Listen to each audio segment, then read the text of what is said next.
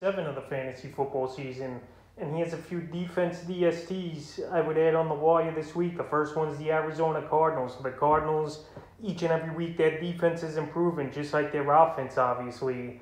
And in week six at the Cleveland Browns, they had a good game, including knocking down Baker Mayfield a few times and hurting his shoulders. 14 points allowed, five sacks, and interception, and two fumble recoveries. So, so far this season, we've seen this Arizona DST score three double digit fantasy games in the first, obviously, six games of the season. So, week seven, they got a great matchup versus the Houston Texans that give up the third most fantasy points to DSTs. And they're going to have a good game and probably one of the better weeks. One of the better DSTs they're going to be is this Arizona defense in week seven here. And they're still available in 43% of fantasy leagues, but that quickly is not going to be that quick. That quickly, they're not going to be available after this week. The next defense is the New England Patriots. So the Patriots, they've been a bend but don't break type of defense all season here. And I think they played a decent ball game versus the Dallas Cowboys, even though this Cowboy offense went up and down the field. But the Patriots, they made a few big plays in that ball game, forcing a couple fumbles, including the Cowboys picking one off in the end zone on Dak and making them fumble on a diving attempt into the end zone. So they finished week six, 29 points allowed, interception and a fumble recovery. And this week they got a great matchup in week seven versus the New York Jets that give up the most fantasy points to DSTs. And we saw in week two the damage this Patriot DST did versus the Jets. Six points allowed, four sacks, and four interceptions. So Zach Wilson here, they're going to trick him in this ball game in this Patriot defense. And like I mentioned, they did a decent job with Dak Prescott in terms of playing tight coverage and forcing a few turnovers. So I think they're going to have a big game versus the Jets in this one. And they're available right now in 41% of fantasy leagues. So another DST not available in a wide range of fantasy leagues, but just enough to put on this list as an ad this week. The next defense is the Carolina Panthers. So the Panthers they got off to a hot start on the season, three and zero, but now they're three and three here, and they're mightily struggling.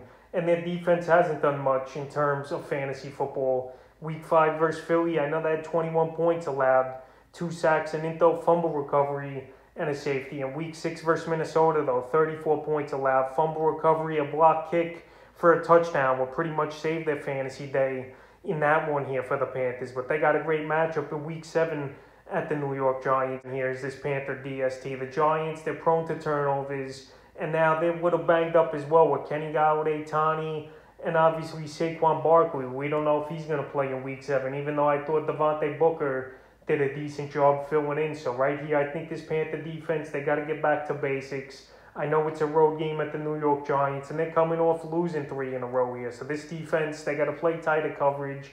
They got to get to the quarterback more, and that was another reason they were winning early in the season because they were playing better defense. So I think this week they're going to turn things around here at a Giant team that don't have the greatest of offensive lines, and right now they're available in 47% of fantasy leagues. The next defense is the Atlanta Falcons. So the Falcons here got a pretty good matchup on paper this week in week seven. Miami Dolphins that give up the second most fantasy points to DST. So we saw in week five they didn't do much, this Falcon team, versus one of the worst teams in the league versus the Jets. 20 points allowed, two sacks in it though.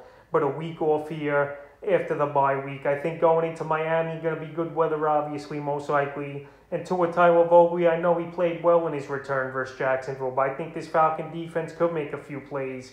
And they're one week only ad as well here with a good matchup on paper. And they're available in 98% of fantasy leagues. So, in my opinion, I could see them score anywhere from 7 to 10 fantasy points. And if you're in a pinch or have a defense on a bye, I think the Falcons aren't the worst ad in the world. And the fifth and final DST I've looked at is the New Orleans Saints. So the Saints here are coming off a bye week as well in week six after they had a pretty decent DST day, week five at the Washington football team. 22 points allowed, two sacks, and two interceptions. And right here, week seven, they're at the Seattle Seahawks on Monday Night Football. And obviously, Russell Wilson, he's not going to be back in time for that ball game. So right here, this DST is available in 61% of fantasy leagues. And I think they can make a few plays on Geno Smith.